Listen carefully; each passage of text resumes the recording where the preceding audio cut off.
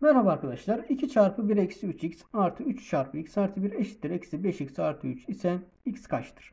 Hemen şunları parantez içine dağıtalım. 2 çarpı 1 2.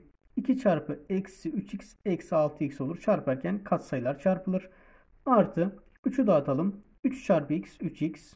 3 çarpı 1 3. Eşittir. Eksi 5x artı 3. Bu taraftan şu x'ler arasında işlemlerimizi yapalım. Eksi 6x artı 3x Çıkarttık mı? Eksi 3x kalır. Artı 2 artı 3 topladık. 5 oldu. Eşittir. Eksi 5x artı 3. Eksi 5x bu tarafa. Artı 3 bu tarafa. E, artı 5 bu tarafa. Eksi 3x. Eksi 5x artı 5x olarak geldi. Artı 3 buradaydı.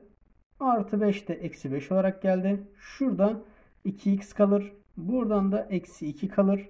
Her iki tarafı 2'ye böldük x eşittir. Eksi 2 bölü 2'den eksi 1 olmuş oldu cevabımız. Videomuzu beğendiyseniz beğen tuşuna basıp abone olmayı unutmayınız.